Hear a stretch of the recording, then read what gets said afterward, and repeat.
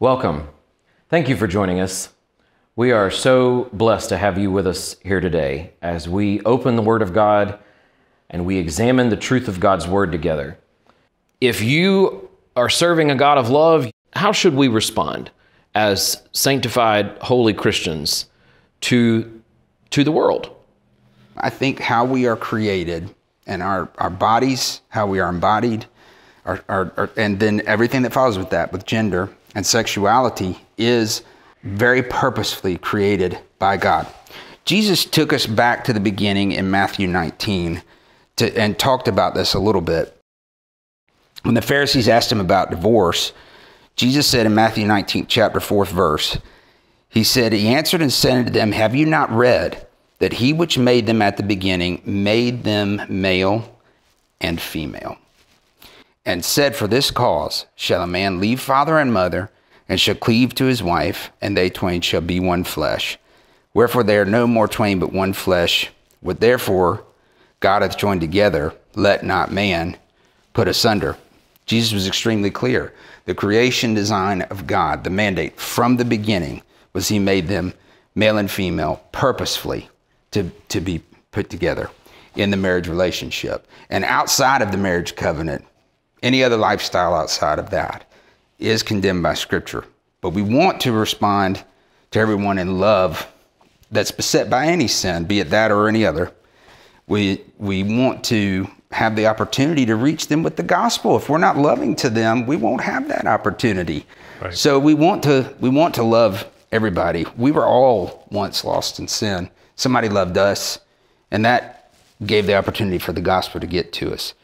What Raya is saying is a good balance of being inclusive mm-hmm. by not saying I can't. I'm just going to write them off.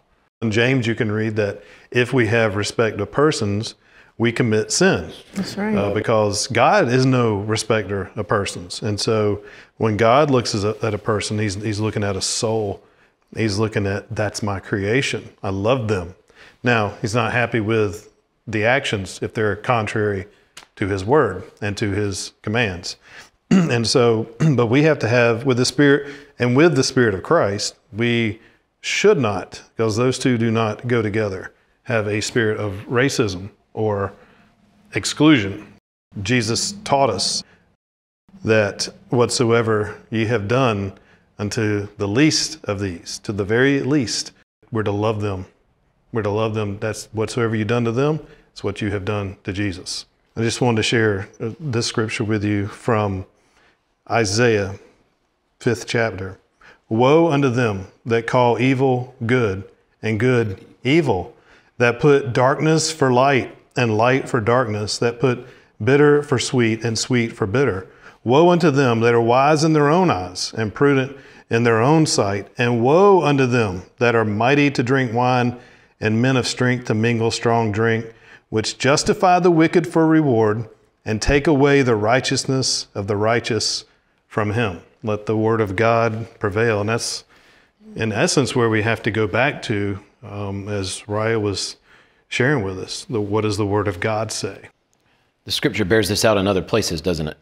In Ephesians, the fourth chapter, it says that we henceforth be no more children, tossed to and fro, and carried about with every wind of doctrine by the sleight of men and cunning craftiness, whereby they lie in wait to deceive but speaking the truth in love may grow up into Him in all things, which is the head, even Christ. So Christ is the head of this body.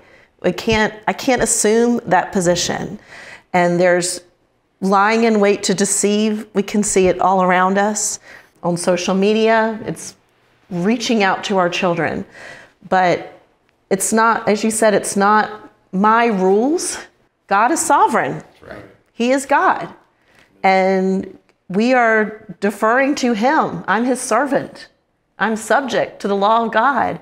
And I can't put myself in the place of judgment, as you said, to say this is okay and this is not. I'm glad I have the Word of God to go to. And I don't want to be deceived, but I want to speak the truth in love so that we can all come into that body of Christ.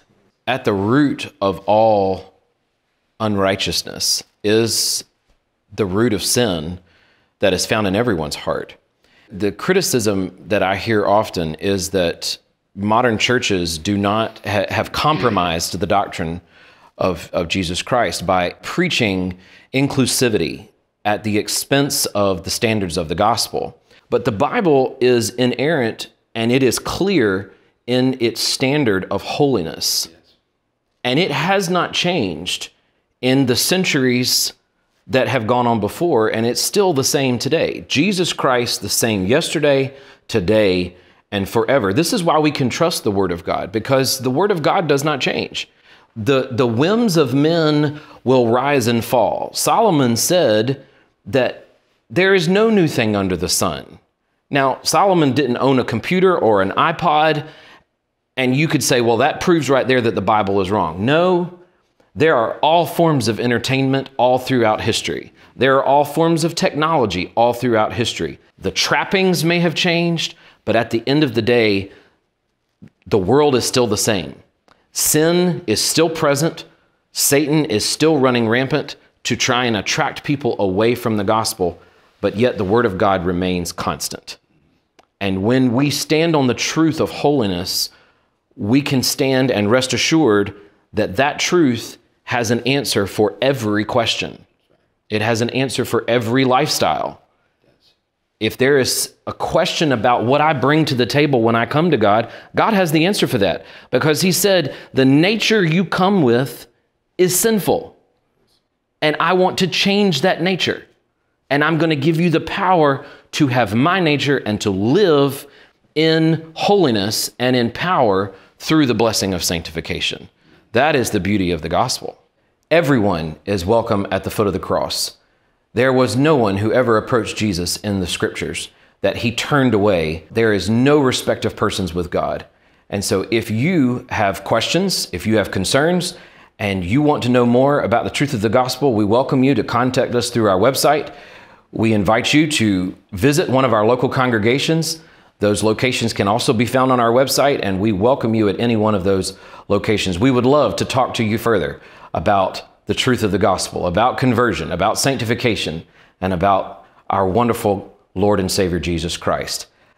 I thank you all for joining me here today and for this wonderful discussion, and we thank you for joining us as we have delved into God's Word.